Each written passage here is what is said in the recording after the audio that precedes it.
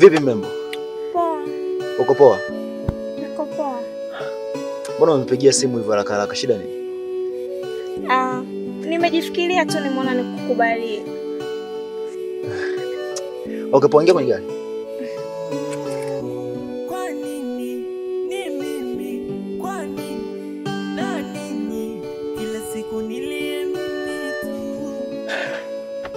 Kwa leo wapi? Sasa? Mimi nakusikiliza wewe tu. Mpunga si upo? Ya upo. Nakuona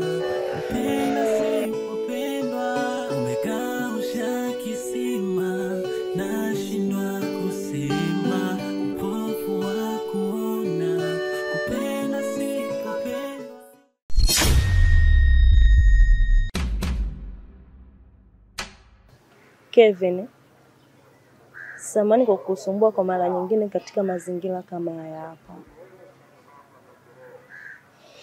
Ujue Kelvin, mimi ni mwanadamu na mwanadamu siku zote hajakamilika.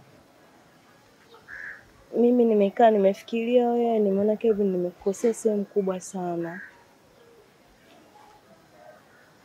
na sikujua kama wewe ni mtu muhimu sana kwenye maisha yangu. Lakini baada ya ubaya wangu niliokufanyia, nimeona kama wewe una muhimu sana kwenye maisha yangu.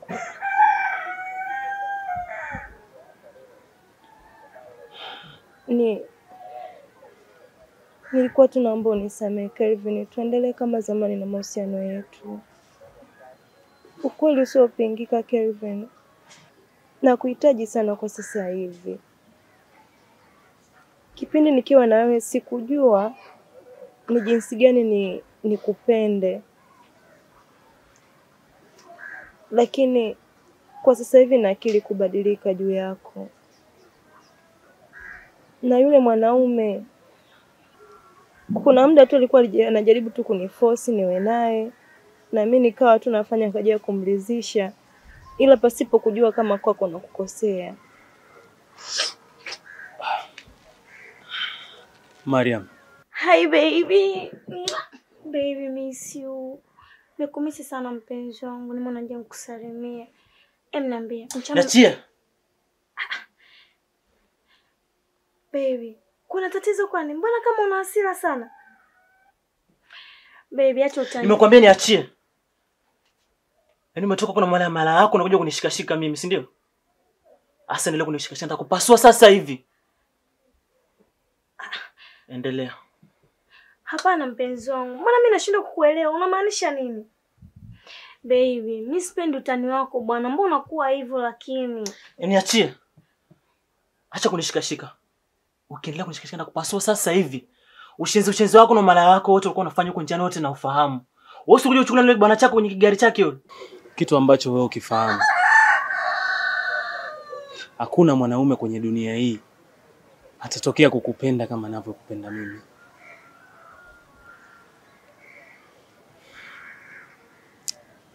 Hajawahi, hajawahi kutokea mwanamke na kamwe hatotokea mwanamke wa kuziba nafasi yako kwenye moyo wangu. Mimi najua kila kitu kinachotokea kwenye maisha yetu kipo kwa ajili ya kutufunza. Ni lazima tukosee ili tujirekebishe. Lazima tupotee ili tujue tunapokwenda. Mimi hichi kilichotokea nakichukulia kama darasa tu.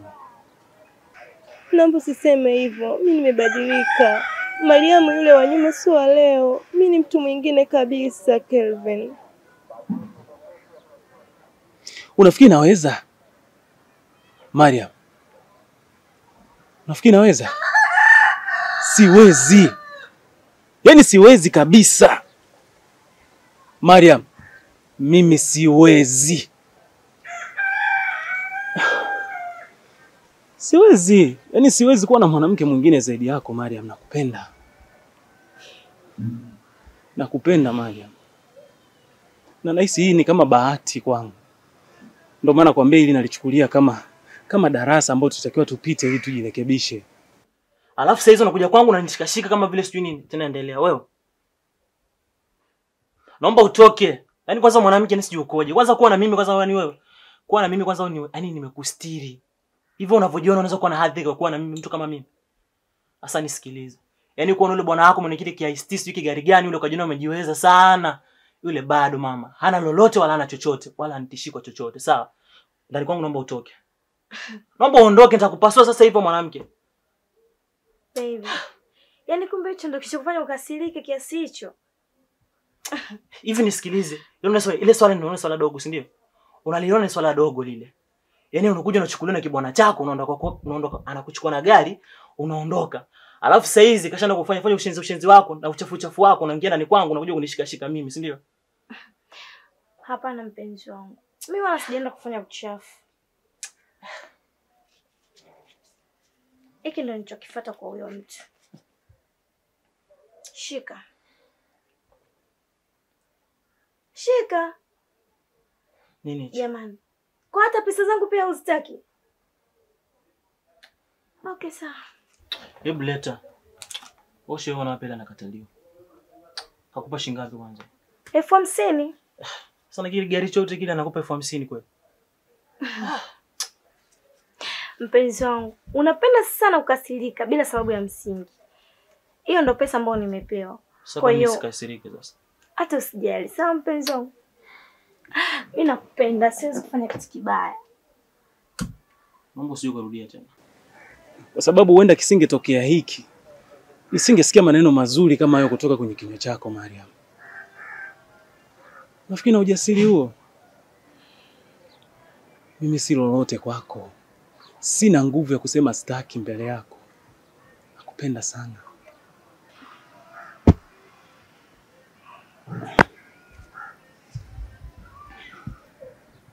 Kelvin, kwa mara nyingine mimi Mariam nakuahidi, siwezi kuruhusu tena moyo wako ukavuja damu ndani kwa ndani kwa ajili yangu, na sitotamani tena wewe ni mwanaume wa kutoa maneno ya kulalamika juu yangu mimi kukuumiza wewe. Nakuahidi Mariam, nimebadilika, takuwa mwema kwako kwa matendo, hata maneno yangu pia, na asante kwa msamaha wako. Mariam, kama haya unayoongea sasa yanatoka ndani ya moyo wako, basi nitakuwa ni mwenye bahati sana. Tafadhali nakuomba usiniumize. Unajua hakuna kitu kinauma kama pale unaposalitiwa na mtu unayempenda. Mariam, tafadhali naomba isijirudie tena. Siwezi kurudia makosa tena kwa mara nyingine. Unaniahidi Mariam? Nakuahidi kweli, mpenzi wangu.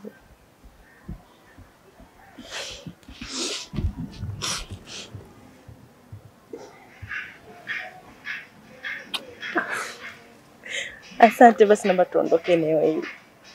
Limeshakuwa chungu tayari. Hapana, kwa sababu nimekumisi. Unamaanisha tuende nyumbani? Kupenda sio kazi, kupendwa ndo kazi. Vipi utampata kupenda? Kupenda sio kazi, kupendwa Rufa! Rufa! Oya Rufa! Oya! Wai baba. Ah, mwanangu vipi? Eh, mbona kama vibe zote hizo mzee? Mzuka wa nini huo? Sio mzuka ndugu yangu leo na furaha kinoma yani. Ah? Kuna nini tena mwanangu? Hebu tutafute sehemu tuongee. Baba, sio kwa vibe hizo mwanangu. Ola Kevi, yo vibe lako la leo. Ndugu yangu, Kuna nini ndugu yangu? Mwenyezi Mungu amtupi mja wake. Okay. Yaani kwangu imekuwa kama bahati. Ipi tena ndugu yangu? Ya bado nahisi kama ndoto vile yani. Kulikoni ndugu yangu? Bora uniweka kwenye njia panda ujue. Kaka naoa. Acha bwana. Naoa. Nani tena? Sasa unafikiri kuna nani ambaye mimi naweza kumuoa tofauti na Mariam? Ngoja kwanza. Kevi. Unamuoa Mariam? Mariam huyu huyu ndio. Huyu anakuwa anakusumbua kila siku. Ndio maana nakwambia mimi najihisi na bahati ndugu yangu. Siku ya leo yaani usione hivi na furahi furahi, furahi inatokana na Mariam. Hebu ngoja kwanza. Nipe sababu ya msingi. Amefanya nini Mariam? Mariam kanifuata. Yeye mimi sijamuita. Kanifuata. Kaja kaniomba msamaha juu ya matukio yote ambayo ameshanifanyia na ameniapia viapo vyote kwamba hatorudia tena yale yaliyotokea. Mariam. Sasa kwangu mimi naona ni fursa.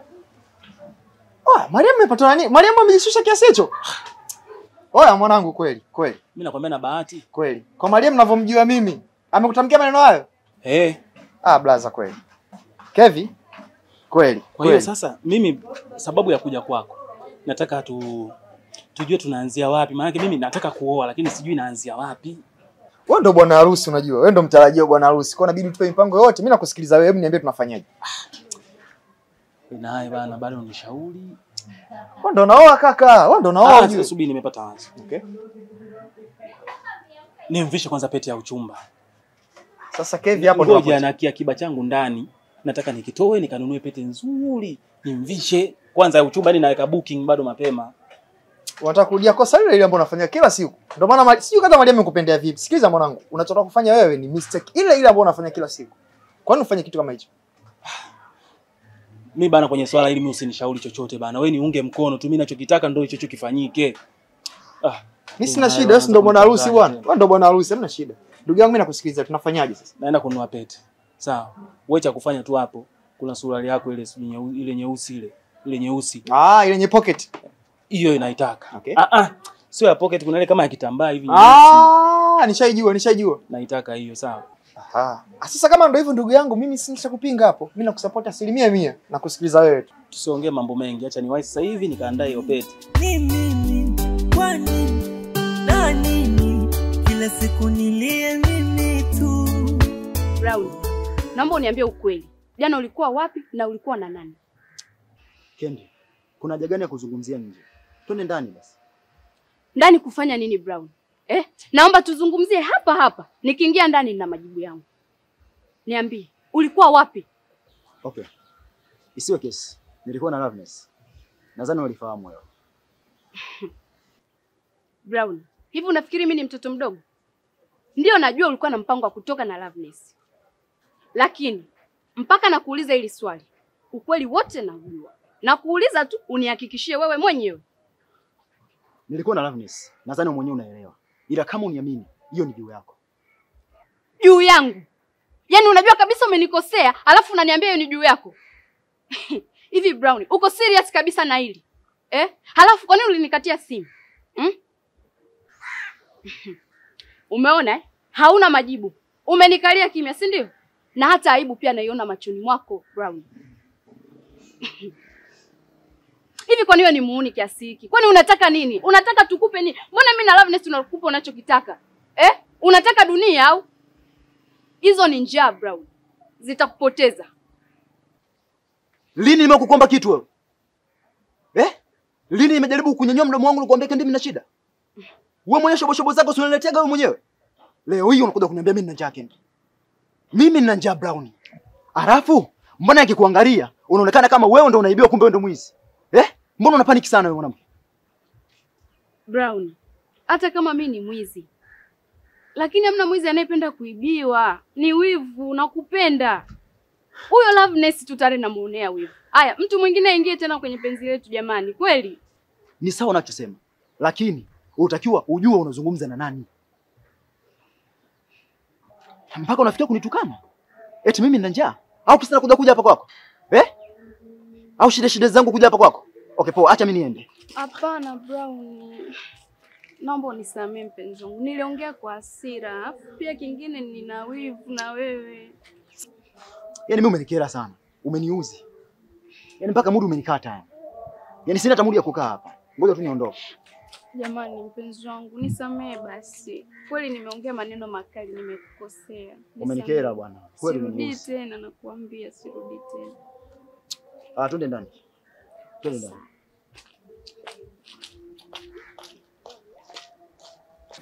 Mm, shoga yangu hizi nywele Yaani hizo nywele zinaosha na muda. Aya, niambie unasukaje? Mbinjuo. Mbinjuo Eh. Kwa hiyo hela yako. Au mama, vipi tu nisike tano. Maana nimechoka. Haya mama, tulia usuku. Hivi yule mdogo wako je kika? Maana hata simuoni siku. Mdogo wangu, ah, yule msichana Mm. amesafiri kidogo. Jamani, naishi naye nyumbani kwangu, amesafiri ameenda kwao. Kuna matatizo. Shogangu, kaa vizuri huu mbicho ili nikusuke upendeze. Usijue kwanza kuona eh, saluni kwa Diana siendi tena. Usikia haraka haraka basi maana kuna sehemu nataka niende. Eh, bwana tulia na wewe.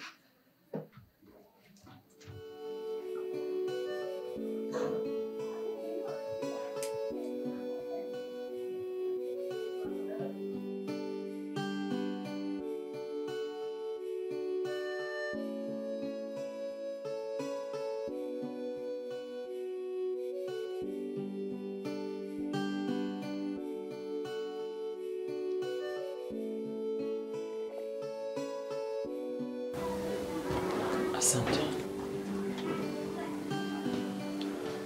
Subiri.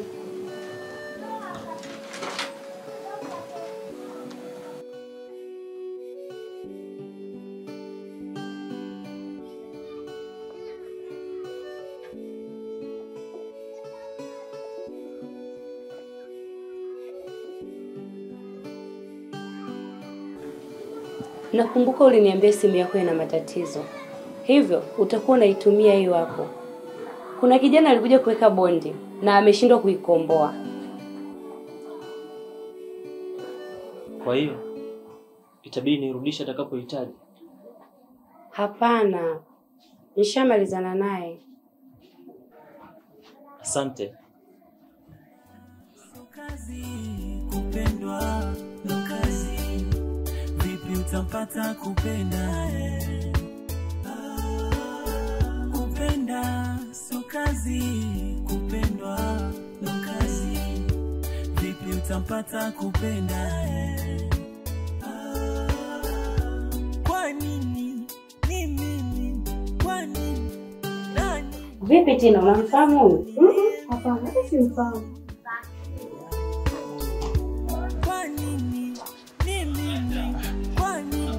Mbona umechelewa hivi? Si unajua tena mpenzi wangu mchana huo. Kwa nilikuwa najiandaa kwa ajili ya kwenda kuanza kupika. Ah. Mbona hujaniambia kama unapika na mimi nije nikusaidie? Wewe unatafuta hela. Mimi acha nipambane kupika au nitafutie hela za Naweza kufanya vyote lakini Ah, mimi nataka unapumzika, usichoke sana. kweli. Basi mimi nimekuja fasta fasta na kimzigo hichi nimekuletea. Asante. Ah, Mariam. Nilikuwa naomba hiyo gauni uivae kesho. Ah, nina nina kitafrija kidogo nimeandaa kwa ajili yako na mimi hapa. Inamaanisha kwamba ume, unafanya sherehe kwa ajili yangu mimi na wewe. Eh, tena itakuwa na surprise yako nitaku nitakusurprise pale pale. Ah, ah, Mr. Kiwa surprise kesho. Mimi nataka nijue sasa hivi ni surprise gani. Mariam, maana ya surprise ni kitu kilichofichwa. Mimi sitaki tukifichue leo. mi surprise najua zizo nyingi unakuta labda unashangaa anaenda hapa nakutana na surprise ya nyoka. mi nataka nijue surprise Ah, gani. Bana, usifikirie hivyo. Ni surprise nzuri kabisa ambayo nimepanga kukufanyia mpenzi wangu. Kwa wala usijali. Sawa? Eh, Sawa basi haina shida. Nita- Nitashukuru na najua ili gauni nitavaa nitapendeza sana. shika na hiyo. Ya nini tena? Chukua Mariam. Sasa hiyo hela nataka uende saluni. Sawa. Ukatengeneze nywele zako vizuri. Yaani nataka upendeze kwa kifupi. Kelvin, naona nataka kesho niwe ni mtu tofauti kabisa. nimekuambia ile sherehe ni ya kwangu mimi na wewe. Asante sana, nashukuru sana mpenzi wangu. Nashukuru sana yani. Hakika najivunia sana kuwa na wewe. Usijali Mariam. Kiukweli mimi nipo kwa ajili yako. Na nitafanya kila kitu.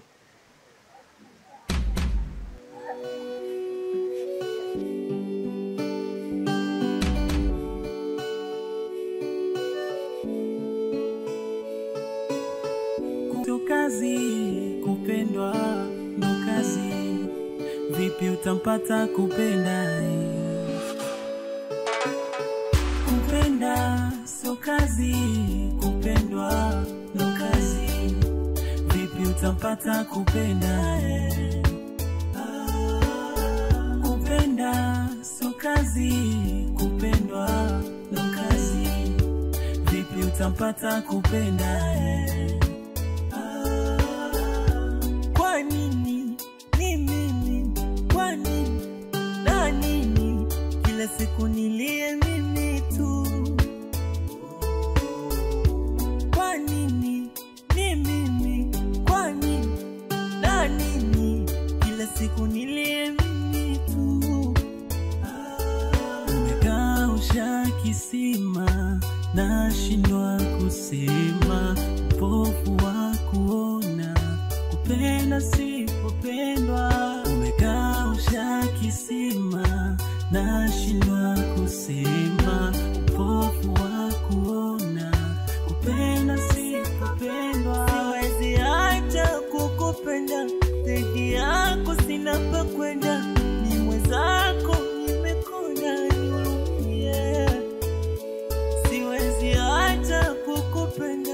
Zaidi yako sina pa kwenda, ni mwenzako nimekona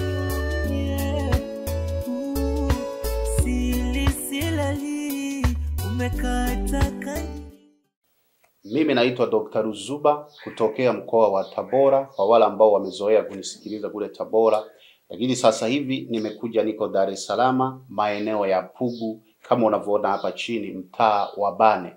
Kwa hiyo watu wa Dar es Salaam, watu wa Pwani eh, wote ambao wananisikiliza niwakaribishe sana waweze kuja kuniona hapa maeneo ya Pugu, kajiungeni, mtaa wa Bane.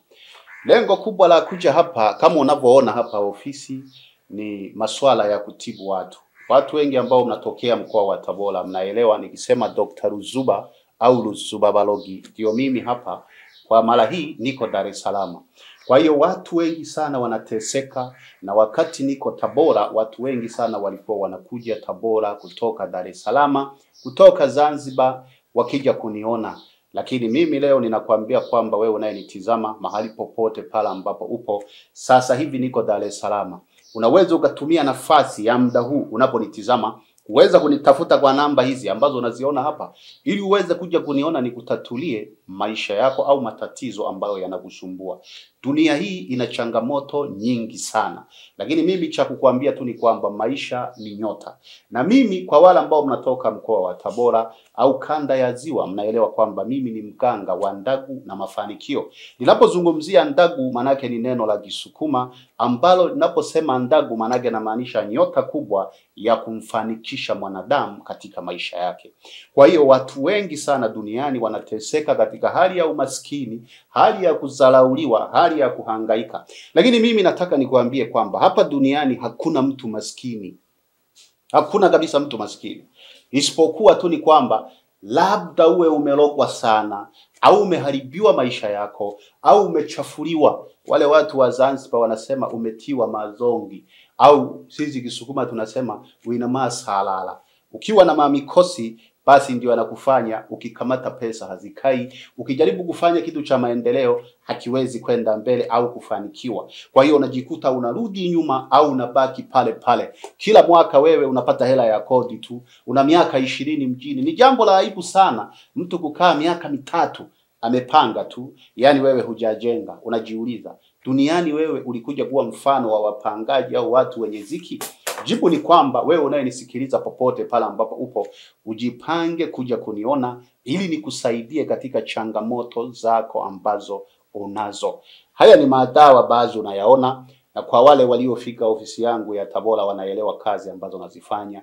Utaona picha hapo zitakuwa zinawekwa kwa watu, umati, mamia ya watu wanaomiminika kuja kuniona, na sasa hivi ninapozungumza hapo nje kuna watu wengi wamekuja wanashughulikiwa kazi zao, yaani maisha yao, miili yao, biashara zao. Inawezekana una kitu chochote kile ambacho unatamani kukifanya, lakini kimekuwa ni kigumu sana kufanikiwa au kusonga mbele. Jibu lake nataka nikwambie kwamba jibu la maisha yako ni dawa. Mungu alipomuumba mwanadamu alimweka kwenye bustani ya Edeni, akamwambia kazi yako ya kwanza wewe ni kulima na kutunza hii bustani. Kazi ya pili ya mwanadamu ilikuwa ni kuangalia wanyama, kufanya nini, lakini ili aishi pale ilihitajika ale matunda ya mti wa uzima. Kwa hiyo wewe unayenisikiliza popote pale ambapo upo, maisha ya mwanadamu huwa ni dawa. Ili uweze kuishi vizuri, lazima utumie dawa, yaani mti. Eh, kwa hiyo wewe ndugu yangu unayenisikiliza popote pale, natumia lugha hii kukuambia kwamba duniani ukitaka kupiga hatua watu wanakushusha.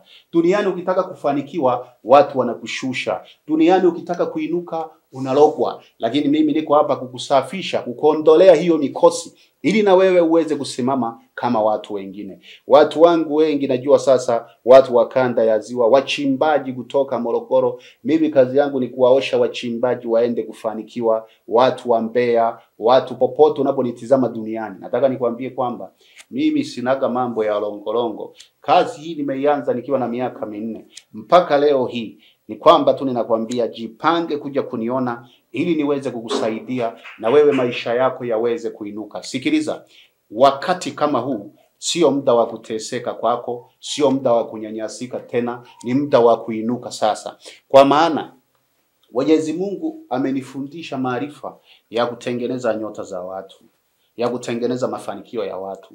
Hata kama umezalauliwa, unainuliwa hata kama una shida, unaumwa, una, yani una mapepo, umetupiwa majini, haya hayatoki kwenye maisha yako. Nataka nikwambie, ukija hilo tatizo ni la dakika chache tu linamalizika kwenye maisha yako, au siku chache tu linaweza kumalizika kabisa na ukaishi maisha ya raha. Mungu anataka tuwe na vitu viwili tu duniani, yaani tufanikiwe kama roho zetu zinavyotaka na kuwa na afya njema. Yaani Mungu anataka hicho tu. Kama unatamani kuwa na nyumba nzuri, ufanikiwe uwe nayo hiyo nyumba nzuri. Kama unataka kuwa na magorofa uwe nayo. Kama unataka kuwa na magari uwe nayo. Ndio maana nasema kwa mimi mganga wa ndagu, yaani mganga wa mafanikio kwa watu, siamini kabisa kwamba kuna mwanadamu duniani ni masikini. Wote ni matajiri, isipokuwa mtu tu anakuwa ameharibiwa nyota yake. Kwa hiyo mimi nikwambie kwamba ukija kwangu nitakutengeneza uwe kama ulivyo. Hizi dawa hapa sio ulembo, sio kwamba ni maonyesho, hapana. Sisi Wasukuma tunasema kwamba dawa ni shingira, yaani dawa ni viungo. E, miti kila mtu anaijua, lakini dawa ni kiungo. Na wewe unayenisikiliza popote pale ambapo upo, hivi sio vya ajili ya kukutisha, ninakuonyesha tu ni zana ambazo zikiwa mkononi mwangu, basi ukifika kwangu ni lazima ufanikiwe. Mungu alikuwa anamuomba sana, yani Musa alikuwa anamuomba sana Mungu kuliko hata wewe, lakini bado Mungu alimuuliza una nini mkononi? Musa akajibu alikuwa na fimbo fimbo ya mgembe. Watani zangu walinzi wanasema hii ni mpingo, hii ni fimbo, ndio alikuwa nayo Musa. Hata Mwalimu Nyerere alikuwa na fimbo. Sasa wewe unaulizwa na nini mkononi, unajibu na maombi. Maombi ni ya moyoni, lakini Mungu anataka fimbo mkononi ikuvushe kwenye matatizo. Kwa hiyo wewe ndugu yangu naye nisikiliza, popote pale ambapo upo, nikualike uje kuniona hapa maeneo ya Pugu Kajiungeni, maarufu sana sasa hivi panaitwa Pugu kwa babu, lakini ukifika usitegemee utamkuta babu mzee. Ni babu ndio mimi, naitwa Ruzuba losuba balongi